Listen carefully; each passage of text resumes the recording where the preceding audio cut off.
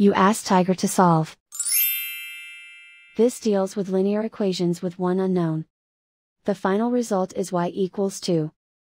Let's solve it step by step. Group all constants on the right side of the equation. Subtract 2 from both sides. Group like terms. Simplify the arithmetic.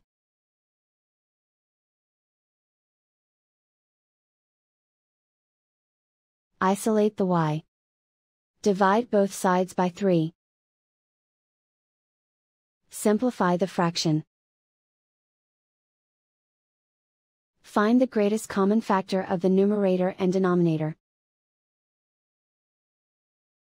Factor out and cancel the greatest common factor.